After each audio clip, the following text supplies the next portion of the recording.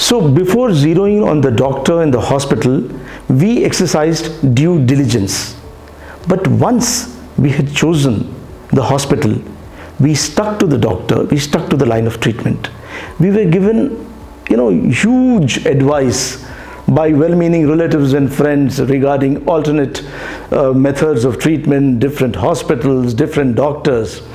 But we never lost faith in the doctor, the hospital or the treatment throughout the journey. Even when I was in the hospital, in the ICU fighting for my life, my family remained firm. And I think that is the difference between being dead and alive as far as I'm concerned.